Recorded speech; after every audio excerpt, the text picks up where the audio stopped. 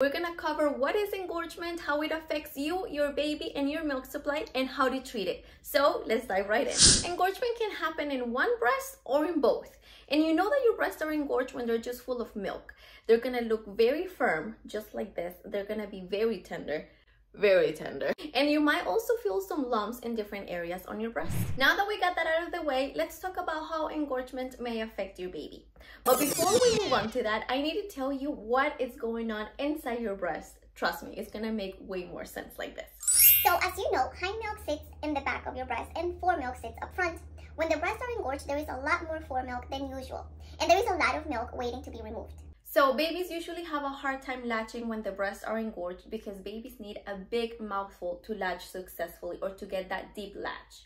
And when the breasts are engorged, they're very firm, so they end up latching on the nipple, which is gonna be very painful for mom. And not only that, but if you don't correct this right away, they might start to reject the breast. Remember what I said about the breast having so much milk waiting to come out and a lot of foremilk? Okay, so when babies latch, it's like opening the water faucet on high. There is so much milk waiting to come out that it actually comes out with a lot of pressure and babies cannot keep up with that flow. They start gulping and swallowing a lot of gas.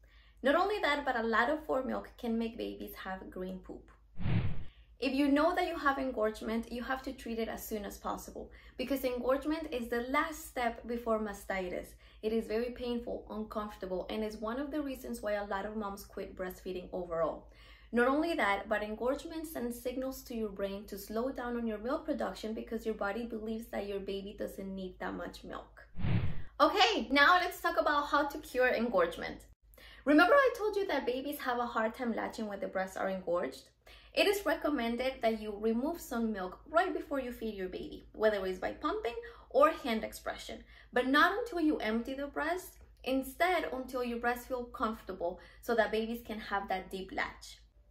If you notice that your breasts are engorged and it's going to be a couple of hours before you breastfeed again, then it is recommended that you pump. But again, not until you empty the breast, but until you feel comfortable. Also, some cold compresses in between feedings might help and some warm compresses about two minutes before each feeding could also help.